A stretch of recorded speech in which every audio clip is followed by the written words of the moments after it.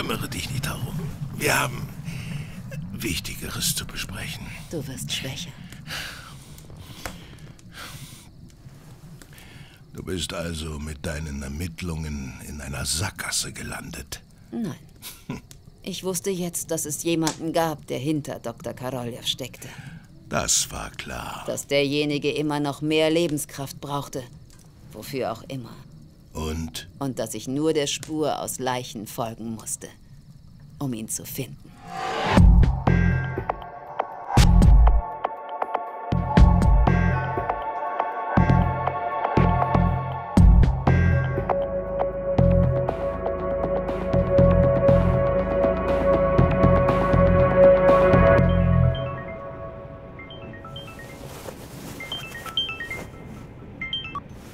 Bale, gut, dass Sie sich melden. Sorry, Sis, äh, die Bosslady hat zu tun.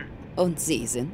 Dexter, du kannst mich Dex nennen. Ich bin der Experte vom Dienst. Äh, Die Bosslady sagt,